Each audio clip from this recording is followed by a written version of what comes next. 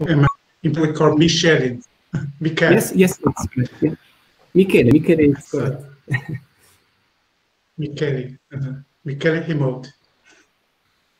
Are you ready? Yeah. Uh, uh, let's start. So uh, back to of this work. It's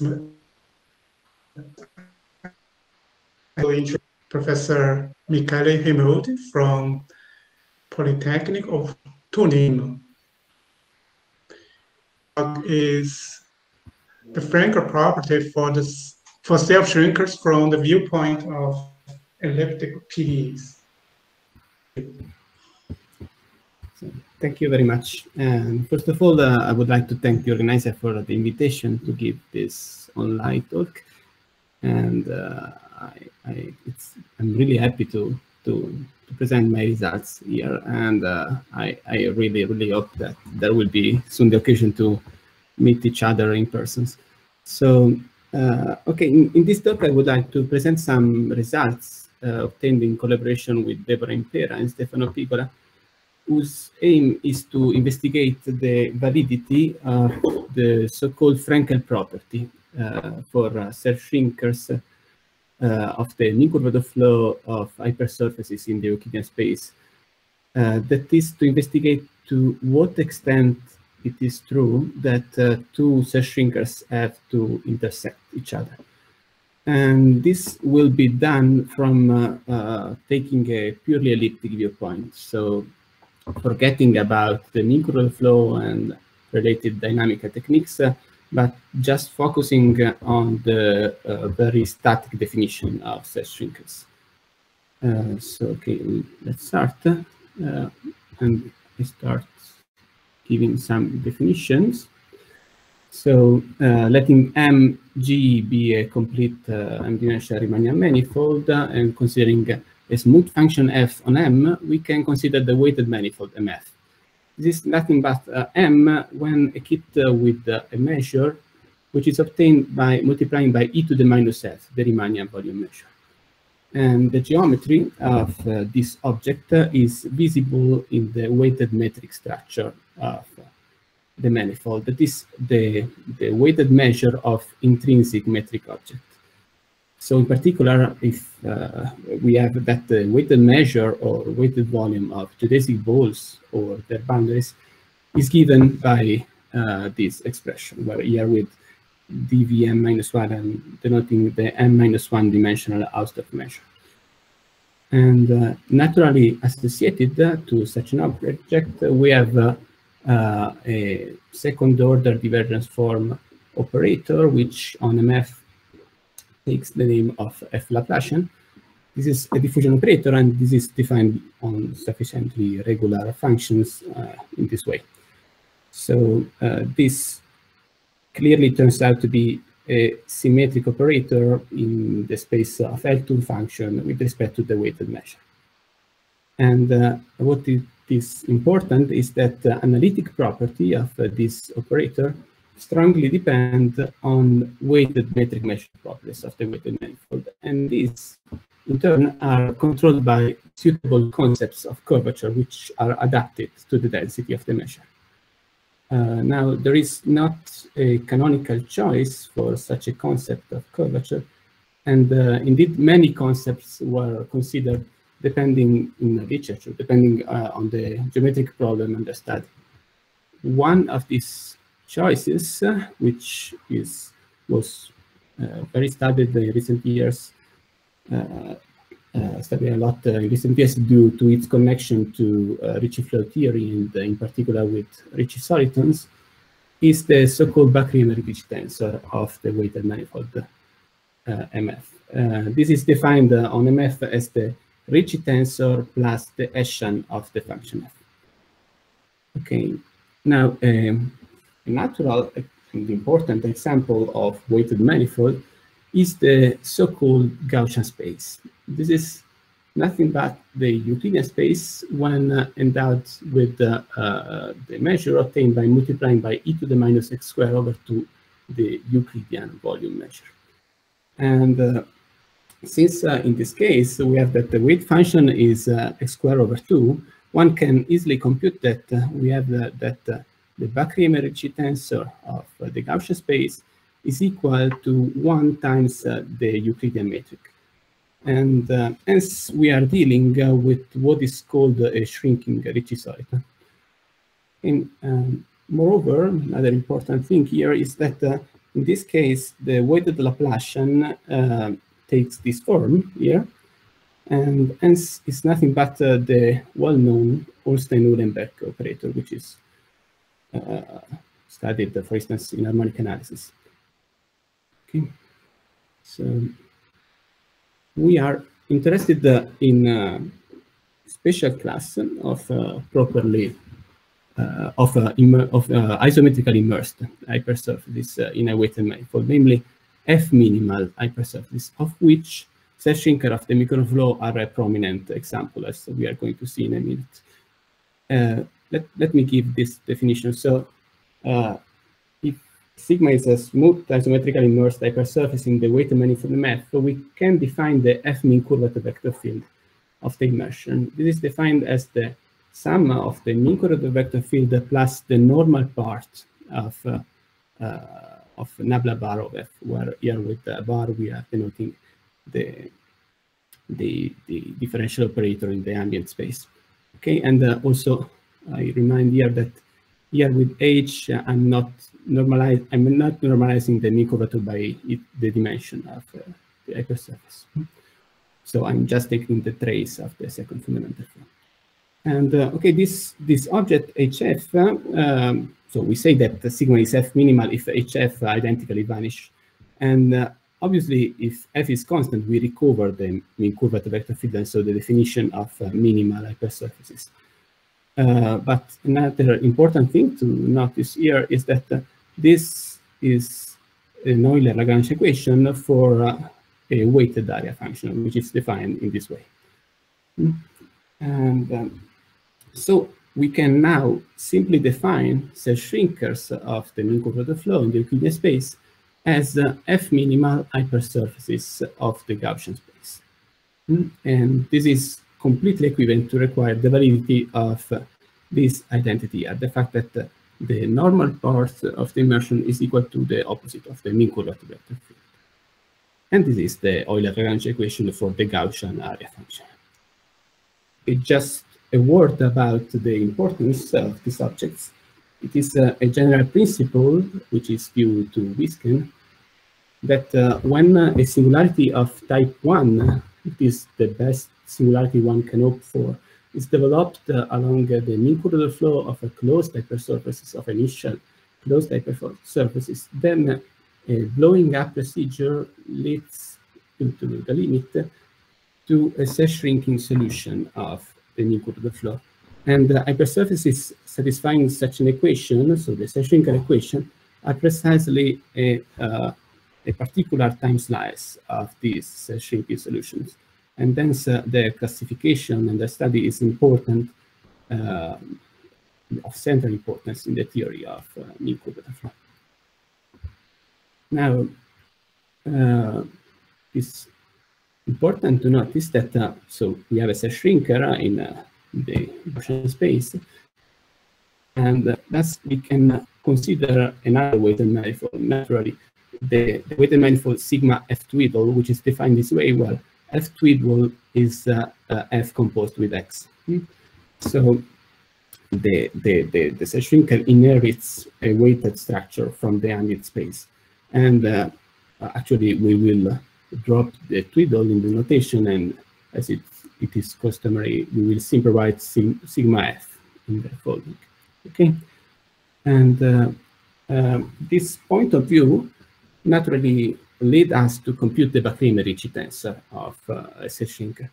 And this uh, simple computation uh, using Gauss equation and the self-shrinker equation that uh, this is bounded from below by 1 minus uh, the square norm of A. Another important uh, link between the intrinsic weighted geometry and the extrinsic properties of the self-shrinker comes uh, from the computation of uh, the F Laplacian of the immersion. We one can compute that uh, the, the, this identity also, the f Laplacian of x is equal to minus x, and uh, from this uh, it follows directly that uh, the f Laplacian of the square norm of x is equal to 2 times m minus x squared. Mm? So just keep in mind these two identities, which will be useful later. Okay, so before going on, uh, let me give just some examples of the shrinkers. Uh, we have that despite of uh, much numerical evidence until uh, very recently, actually, there weren't so many explicit, examples. Classical examples of complete properly embedded cell are uh, the cylindrical products of this form. So a product of a k-dimensional uh, spherical factor of radius uh, square root of k and the Euclidean factor of complementary dimension. This include uh, as extreme cases when k is equal to m, the m-dimensional sphere of radius square root of m, and uh, all the hyperplanes to the origin when k is equal to zero. And due to a classification result by Colding and Minicozzi, these are actually the only complete embedded and mean convex shrinker with extrinsic polynomial volume graph. That is, this condition holds here on the extrinsic uh, volumes. Here I'm denoting by BR and plus one the, the, the ball uh, of radius R in the ambient Euclidean space. Another classical example is uh, uh, actually a compact uh, rotationally symmetric one. This is an embedded torus uh, which was constructed with a non-round profile, which was constructed in a paper by Angenent. And uh, as I was saying, uh, very recently, the panorama of example really enlarged. We did, one can look to a paper by Drugan and Kleene for the construction of infinitely many immersed rotational symmetric shrinker with the following topological types. And uh, one can also look to uh, respectively to paper by Möller and Kapouleas, Screen and Moller for the construction of uh, respectively uh, compact and complete non-compact uh, embedded example with I genus in R3. These, these are constructed by means of the, the singularization technique applied to the intersection of some of the previous examples. Okay, so uh, we are mainly interested in properly immersed shrinker. And uh, it is important uh, to, to remark that uh, by uh, a result by Ding and Xin, later completed for some of the implications by Cheng and Zhou, uh, for any complete immersed shrinker, the fact that the immersion is proper is actually equivalent to the fact that sigma has extrinsic polynomial value. That is the condition we, we wrote on the previous slide holds. And uh, actually, this is also equivalent to the fact that sigma has finite f volume. That is this condition here holds. And so, um, by means of this result, the assumption that uh, the immersion is proper is quite natural to consider from the viewpoint of the current flow, since uh, it can be proved that uh, any time slice of a blow-up limit uh, at the type 1 singularity of a closed uh, mean curvature flow uh, has this property of extrinsic polynomial volume graph.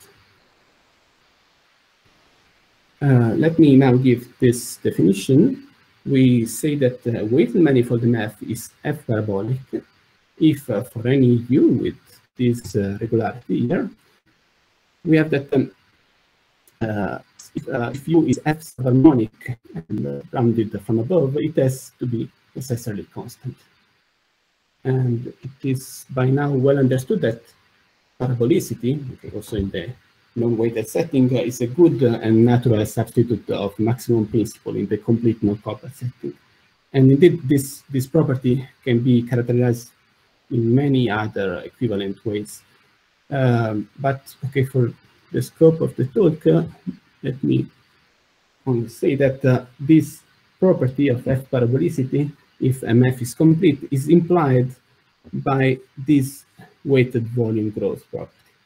Namely, we if we have that uh, uh, 1 over the weighted volume of a geodesic sphere is not integral at infinity, then MF is f, f parabolic.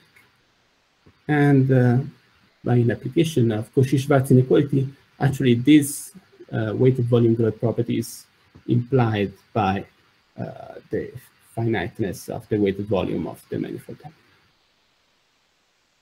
Okay, so in particular, by means of these remarks, we have that given a, uh, due to the result on the top of the slide, uh, given a properly immersed shrinker, uh, the complete weighted manifold sigma f is in particular f parabolic. Okay, so our uh, aim is to investigate uh, the validity of the so-called Frankel property for such shrinkers. And this terminology comes after a paper by Frankel, who proved that any two closed minimal immersed hypersurfaces in the sphere, or more generally in a Riemannian manifold with strictly positive Ricci curvature, must intersect. And the original proof by Frankel worked uh, by contradiction, assuming that the two hypersurfaces are at a positive distance, and then uh, applying uh, uh the second variational formula for uh, the arc length functional uh, along a minimal geodesic, realizing the distance. And um, okay, it is important to, to remark now that one can see as uh, we we saw in the in the previous talk uh, that uh, in in in, in another setting that in many instances properly immersed shrinker behave like closed minimal hypersurfaces of the sphere. And this uh, is uh, visible, for instance, when one looks uh, to stability properties of these objects. There is really an analogy among results holding in one setting and the results holding the other setting. And okay, these philosophies say naturally led us to consider the following problem. So uh, if we have two complete properly immersed shrinker, to what extent is it true that they have to intersect? And um, a prototype result uh, in this direction is due to Wei who dealt with the compact case. Actually, what is really needed in uh, the result is that the positive distance between the hypersurfaces is realized at finite points. Namely, they prove that uh, if uh, the positive distance is realized at finite points, then uh, two properly immersed shrinker have to intersect. And uh, that technique uh, inspired to uh, another paper by Petersen Willem, um, and worked again by contradiction and then uses F Laplacian comparison uh, for the distance function, uh, for the hypersurface distance function and the maximum principle. Okay, and after this result by Wei Wylie, few other partial positive answers were provided in literature, but these are most related to generalized uh, space properties of the shrinkers. We are going to detail about this point uh, in a minute. Uh, okay, so the end of the rest of the talk is uh, the following. So we will deal with uh, the immersed case, meaning not necessarily embedded case, and we will study some space type results for uh, Seshik.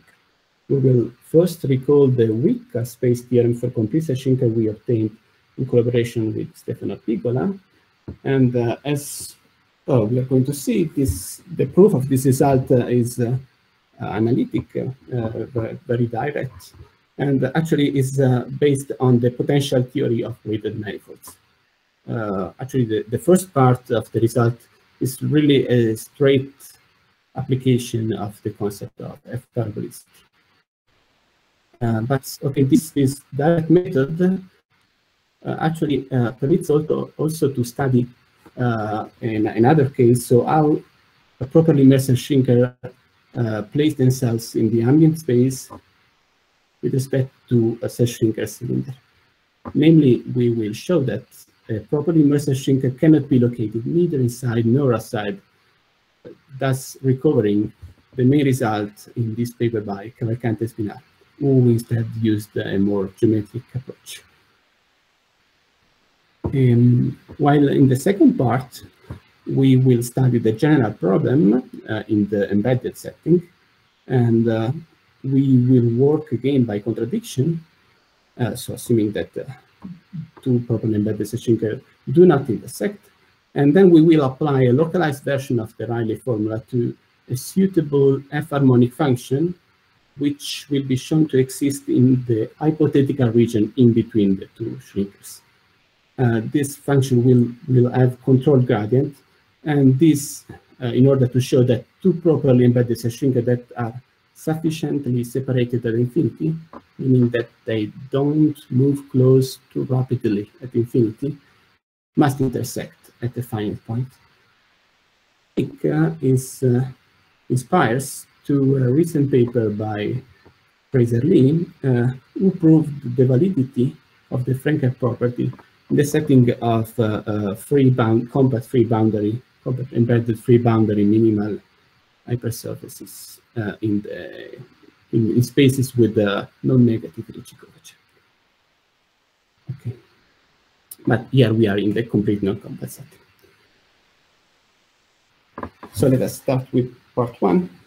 Um, we, after the celebrated paper by Hoffman Meeks, uh, we recall that uh, we say that the weak space property holds for a certain family F of immersed hypersurfaces if any sigma in this family cannot be confined in certain spaces unless it is a totally geodesic hyperplane. And uh, so in uh, our setting, uh, it is a consequence of the result by Wei-Wylie that uh, in particular, every compact shrinker must intersect every hyperplane pi through the origin. Okay, this is this is a, a shrink, and every hyperplane through the origin. And in the terminology of uh, a weaker space uh, result, uh, we could say that uh, a, a compact shrinker cannot be confined in a null space determined by an, an hyperplane through the origin. And uh, okay, we present here uh, an analytic proof of this result, which is somewhat more direct than the original argument. Uh, which, as we are going to see, is suitable for uh, generalization to a more general setting. We recall uh, that uh, for a shrinker, we have the validity of this differential identity. So the f Laplacian of x is equal to minus x. and therefore, if we write the normal equation of the hyperplane pi in this way, we have that an analogous equation also for L of x. So now just a simple application of the maximum principle for the F Laplacian yields the desired conclusion, namely that x of sigma cannot be contained in one of the closed out spaces determined by pi. Okay. So the following result uh, will list some assumption where, uh, whose validity implies the, the full conclusion of the compact case in the complete non-compact setting. So we let uh, sigma be a complete non-compact shrinker and assume that one of the following assumption uh, is fulfilled. Namely, as extrinsic polynomial growth, or we have that the weighted volume of geodesic balls in this way, or we have this LP, weighted LP uh, control on the square norm of A jointly with this L infinity bound. Okay, then for every hyperplane pi through the origin, again, if x of sigma lies on one side of pi, then it has to coincide with pi. Uh, okay, I, I don't, I, am not going to into details about point C. Just, just let me mention that uh, this point C here uh, also uh, comprehend uh, also, also include uh, situations where uh, where the dimension is not proper. Okay, but what about A and B? If either A or B holds, then we have that sigma f is a parabolic for the criterion we saw before. And that's exactly the same proof of the compact case applies. Okay, so we have exactly the same proof uh, of the compact case we, we have seen the previous uh, the previous slide. Okay, so uh, the same technique uh, permits to study how uh, properly measured shrinker behave with respect to the self-shrinker cylinder. And we have that if we have this result that if we consider a properly measured shrinker and uh, X of sigma is confined inside either one of the connected regions, which is determined by the self-shrinker, then uh, uh, it has to coincide with the cylinder. And as I was saying, this recovers a result by Cavalcante Espinar, who instead uh, used a stability argument and uh, a suitable adaptation to the weighted setting of uh, the so-called touching principle. Okay, so let, let us see a sketch of our proof. So we we fix the, the dimension of the spherical factor of the cylinder, okay, and uh, we consider a, the corresponding orthonormal phase, so the frame uh, which is adapted to the cylinder, and, and we denote by xa uh, the coordinate function of the immersion. Uh, then if we consider this function u on, on the self-shrinker, namely the sum as a goes to from 1 to k plus 1 of xa squared, this is uh, the square norm of the projection of the immersion on the k plus 1 plane, which is orthogonal to the Euclidean factor of the cylinder. Then one has that uh, the, the, this differential inequality holds. Okay. Now, uh, assume to be in the interior case, so we are inside the cylinder. Uh, this means that u is bounded from above by k. Okay, but uh, if this inequality holds, uh, then we have that u is a, a, function which is bounded from above and f sub, uh, sub subharmonic. Okay, hence by f parabolicity, we get that u has to be constant. And uh, okay, sub substituting this information in the in the differential uh, inequality here, we get that actually u has to be constantly equal to k. But now by completeness, we, we get that x of sigma has to coincide with the cylinder, yielding the desired contradiction. Mm -hmm.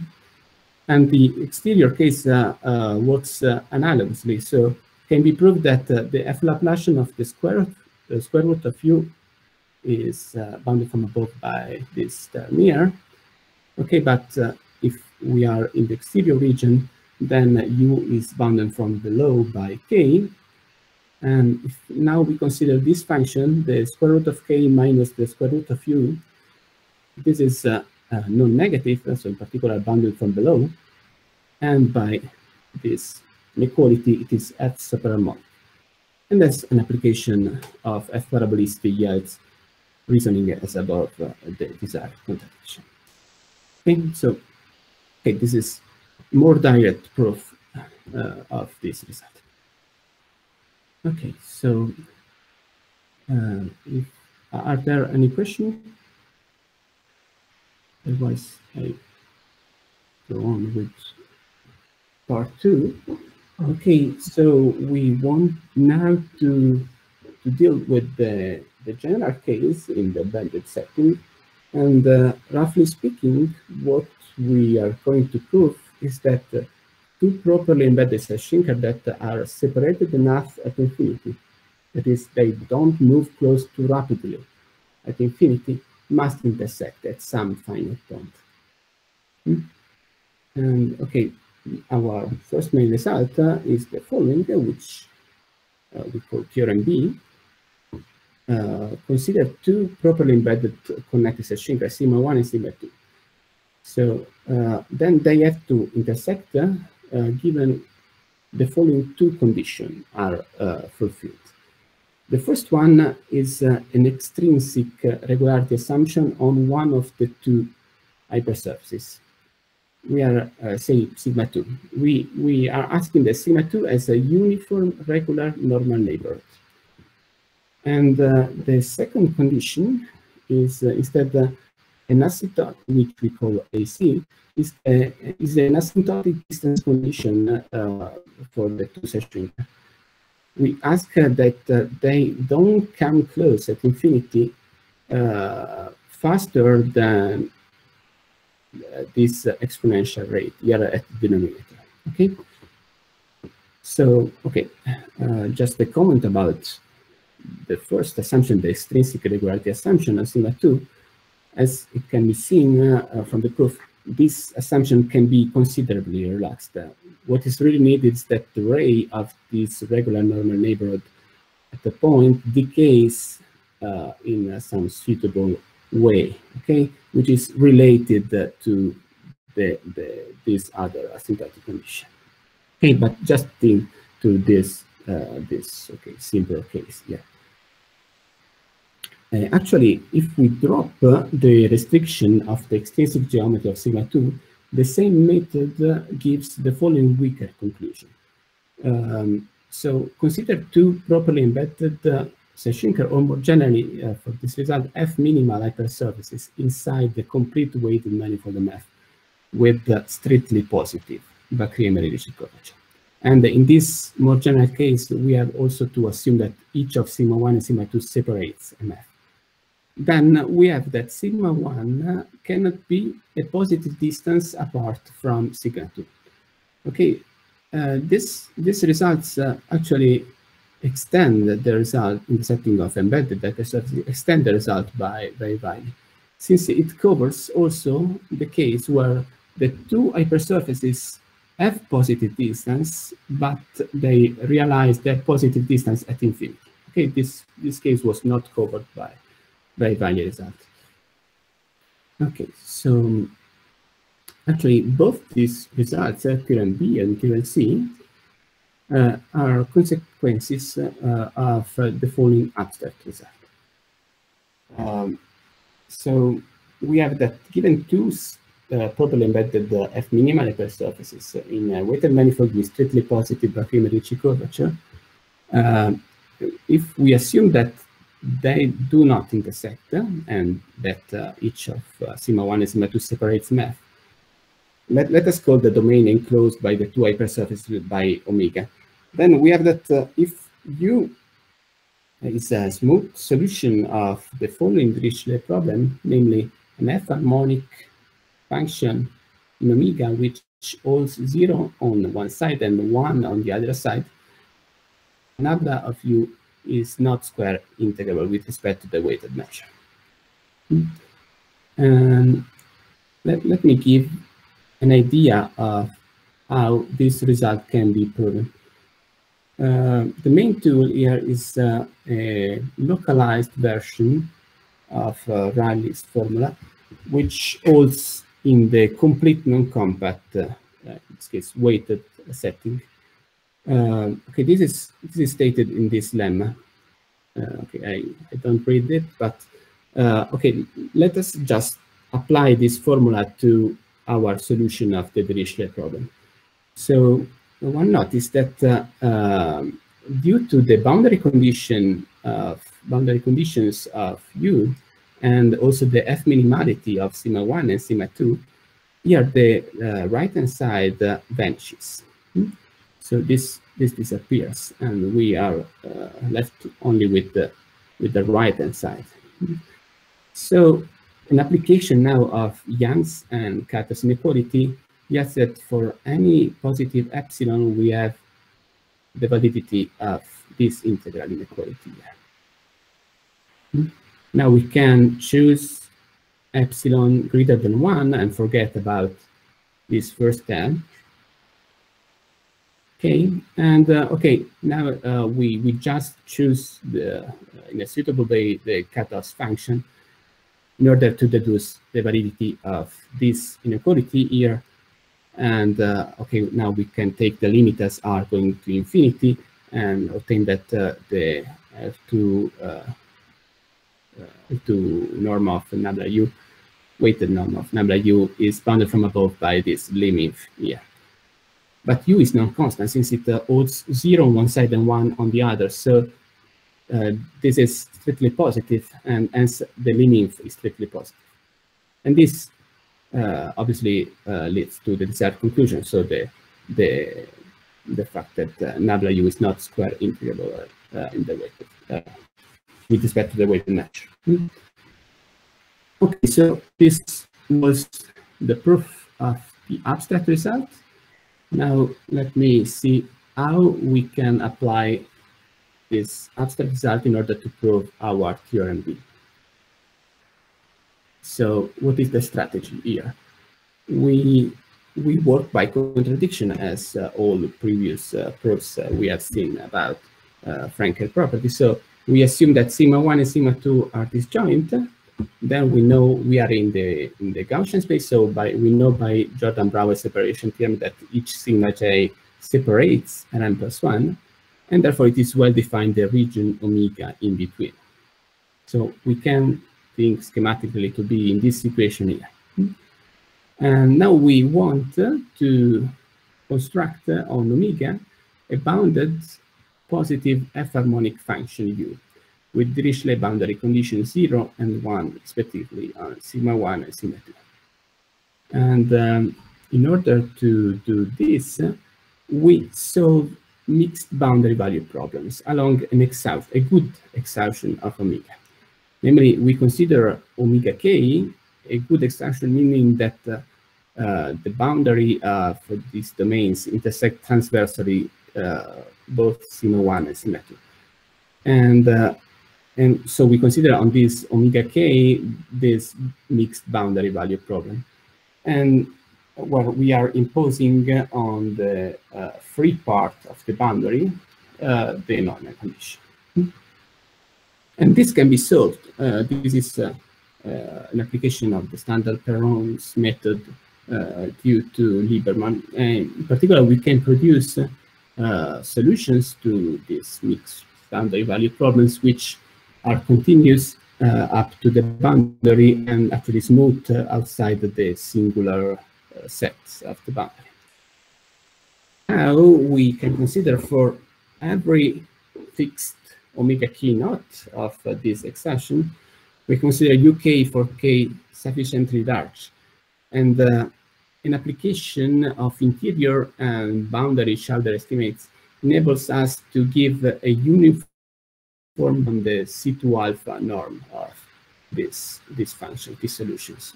So we can actually uh, obtain convergence uh, of these solutions uh, in C2 on, uh, on, on this compact set omega k naught. And now we, we just, uh, up to subsequent studies. And uh, now we just uh, let k naught go into infinity and the diagonal argument yields the convergence to the desired global solution. So, okay, in this way, we constructed this solution, this smooth solution to, uh, to the Dirichlet problem. And uh, now we can use the asymptotic distance assumption, AC, and the condition on the extrinsic geometry of sigma 2 to obtain that, in fact, this U has a finite Dirichlet and weighted Dirichlet energy. Okay, and this yields the contradiction due to our yeah, abstract result we just did. Okay, so uh, before going into some details about uh, the point three here, let me just give a comment about the uniqueness of the solution we have just constructed. We said that uh, given MF, a weighted manifold with boundary, we say that it is F parabolic in the sense of Dirichlet if every bounded F harmonic function uh, sufficiently regular is uniquely determined by its boundary values. And uh, adapting to the framework of weighted manifolds, what is known from a recent paper by Impera, Pigola, and Setti, we have that this condition uh, is by the fact that the weighted volume of geodesic balls grows quadratically. And um, then, uh, so uh, F in the sense of Dirichlet can, is implied by this volume growth property. Uh, since in our setting we have uh, the weighted volume of our domain, omega, is bounded from above by the weighted volume of m, but this is finite since, okay, we have uh, uh, uh Uh, strictly positive Bakry-Émery-Ricci curvature, and this it, it, it is it, can be proved that manifold with strictly positive Bakry-Émery-Ricci curvature have a finite volume.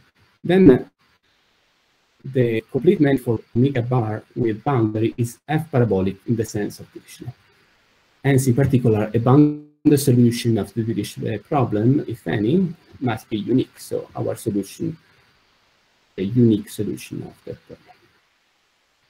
Okay, so let me now comment about uh, the the finiteness of the weighted Dirichlet energy of U. Uh, the first step uh, is the following Caccioppoli inequality up to the boundary, which reduces the problem, so the estimate of this object, to an estimate of the norm of nabla u along sigma 2. Okay, so sigma 2 is the, the, the part of the boundary where we are imposing the datum 1. Okay, so we are reduced to study an estimate for this object along sigma 2, and this can actually be carried out by the following second lemma. So if u is a solution of our problem, and we assume that sigma 2 satisfies an exterior R sphere condition at some point, z is sigma 2, then we have that uh, the norm of u is bounded from above by this term. Here, where here it makes its appearance uh, uh, at the, the, denominator here, the term which justify our asymptotic distance condition in the, in the statement of theorem B. Hmm? And uh, okay, let us comment about this exterior R sphere condition. Um, we, we recall that uh, uh, the exterior R sphere condition at uh, a point z uh, of the boundary uh, is said to hold if there exists a ball in the ambient space which is contained in the, the complement of omega bar such that uh, this ball is tangent to sigma z. Can be easily proved that this condition here is implied by the assumption that the existence, uh, by the existence of a regular normal neighborhood of sigma whose wide width at uh, z, z is at least r. Uh, and this condition is really essential in our argument since, uh, okay, the, the method for the proof of this uh, second lemma is a local barrier method. And uh, actually this condition uh, permits to construct upper and lower barrier set for the operator delta f and the function b equal to u minus 1. So okay, this is really essential in our argument.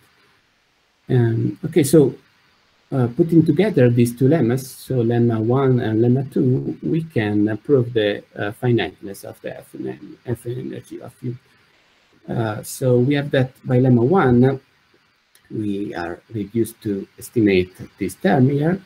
But uh, in view of the asymptotic distance condition AC and lemma 2, we know that uh, the norm of nabla u is bounded from above by this exponential. And now we recall that uh, since sigma 2 is properly immersed, then we have uh, extrinsic uh, polynomial volume growth. Mm -hmm. hence, in particular, we get that the norm of u is in L1 of sigma 2 with respect to the wave measure, and therefore also uh, we, we get the finiteness of the F energy of u. Hmm.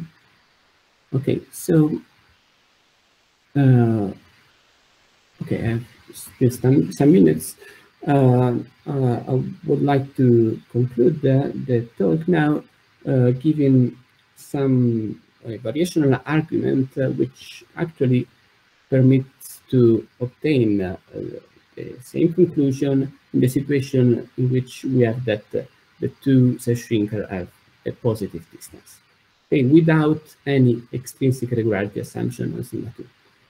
Uh, we note that in this situation, it can be proved that the solutions UK we have constructed to the mixed boundary value problem over the exhaustion using Lieberman approach actually coincide with those obtained by applying the direct calculus of variation to the weighted, this weighted area function, weighted energy function.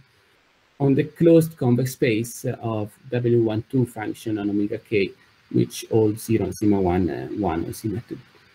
And thus, uh, in particular, each UK is a minimizer of EKF over this closed convex space. Hmm?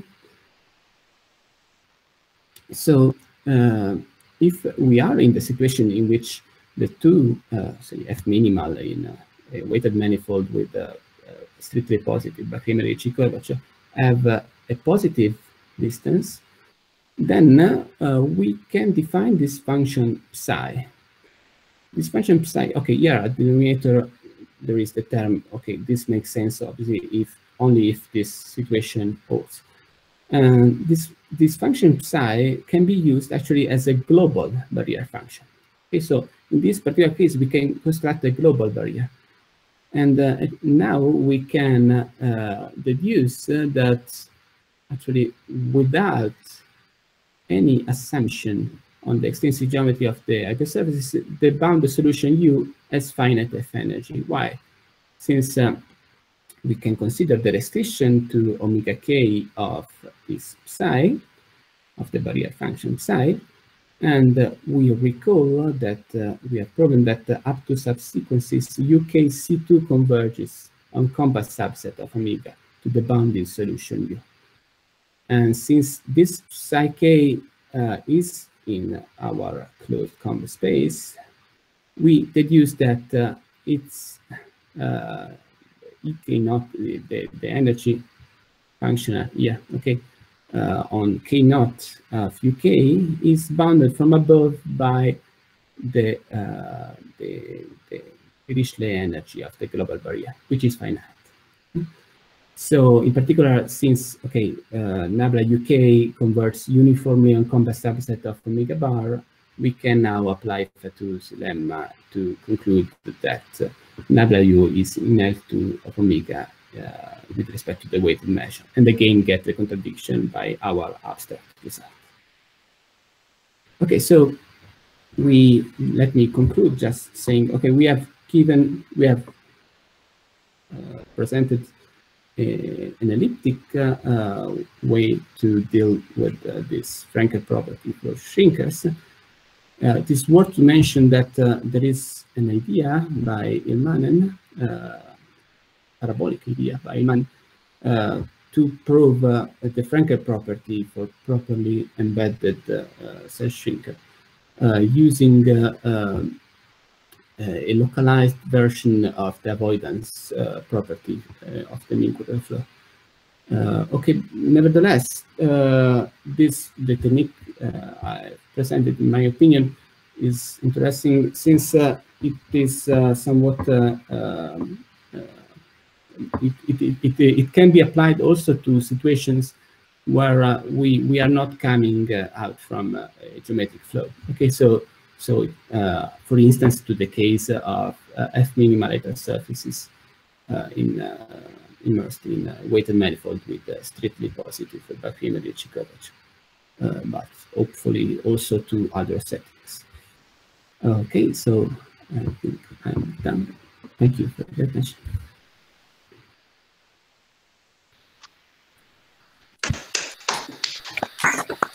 Thank you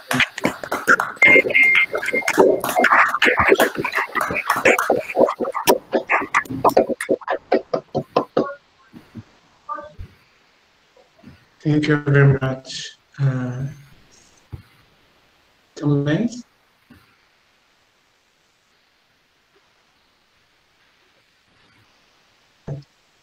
Oh, um, Michele, I, I have a question. Actually, I don't know the answer. Maybe uh, I want to know if the boundedness of the second manifold form, uh, the properties of self shrink. Uh, the boundedness Maybe. of the self-agreement therefore. Uh, if if the properties um, uh, yes, uh, if if it is uh, really bounded, says if if the, the the second fundamental form is strictly less than one, okay, yes, but by by your result it has finite f volume and so it is properly immersed. Only uh, bounded, that's true. But yeah. only bounded, uh, I, I don't know that. Uh, yeah. If you know, please let me know. yeah, yeah, sure. Questions? So if not, let's just speaker again for the interesting talk. Thank you.